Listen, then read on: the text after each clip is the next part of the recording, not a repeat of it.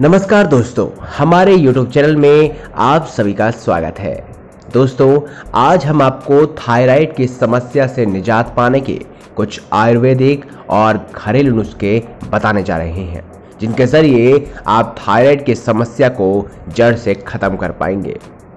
दोस्तों, थायराइड को ठीक करना चाहते हैं तो आपको तुरंत ही काली मिर्च का सेवन शुरू कर देना चाहिए। काली मिर्च का सेवन करने से थायराइड की बीमारी ठीक हो जाती है। काली मिर्च का सेवन आप किसी भी प्रकार से कर सकते हैं। दोस्तों, हरे धनिए के इस्तेमाल से थायराइड को ठीक किया जा सकता है। ताज़े हरे धनिए को बारीक पीसकर इसकी आप चटनी बना लीजिए।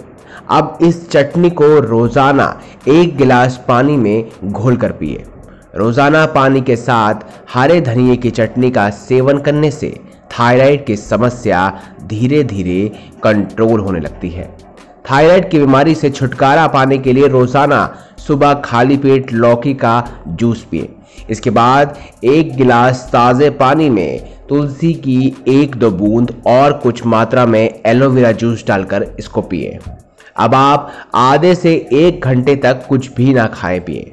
रोज़ाना ऐसा करने से थायराइड की बीमारी जल्द ही ठीक हो जाती है। दोस्तों, अगर आपको हमारी ये खास जानकारी अच्छी लगी हो तो इस वीडियो को लाइक कीजिए, हमारे चैनल को सब्सक्राइब कीजिए और इसे ज़्यादा से ज़्यादा शेयर कीजिए। धन्यवाद दोस्तों।